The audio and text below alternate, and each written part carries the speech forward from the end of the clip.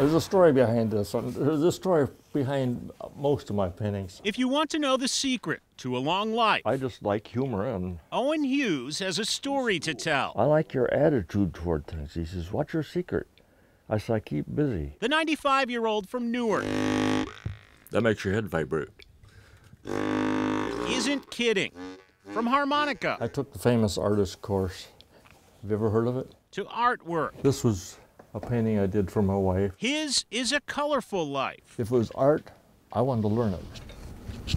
I don't care what kind of art. And if you ask, I got to tell you this. Is that on? or even if you don't, I've met a lot of real interesting people. there is usually a story behind it. I, my interview was so long, I just had so many stories. Hughes enlisted in the Air Force during the Second World War, And they found out I did artwork. which of course led to opportunity.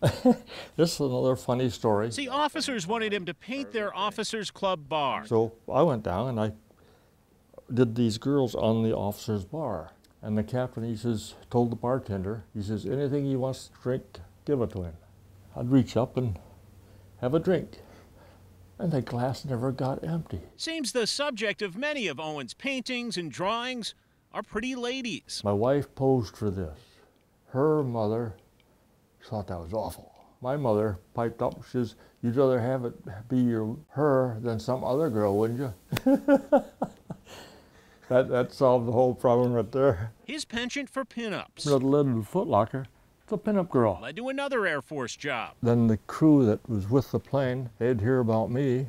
They'd come in and say, we'd like to have some nose art on the plane. Do you have any ideas? Owen figures he painted nose art on around 100 warplanes during the war. And to me at the time, it was just a, another job. Though, as the story goes, and as the pictures prove, a job that had him living in a plane beneath the Eiffel Tower. And I was in Paris for three months without a pass from anybody. And if the MPs had picked me up, I'd probably still be there.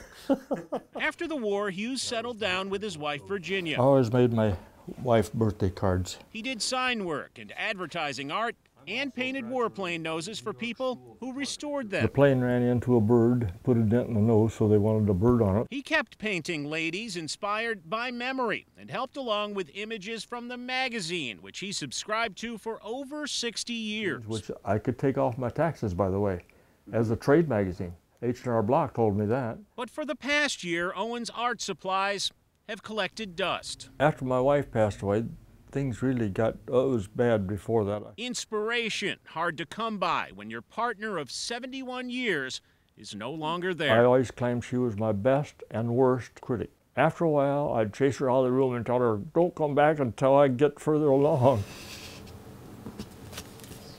In fact, Owen had hardly painted or drawn since Virginia's passing. That was my wife in 19, that was before we were married. Until now.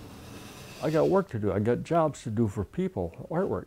And at 95, Not too good. Owen Hughes' own story isn't finished, not by a long shot. I got so many stories I get started and I don't finish them.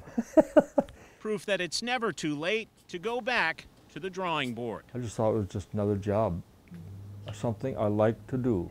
Seth Voorhees, Time Warner Cable News.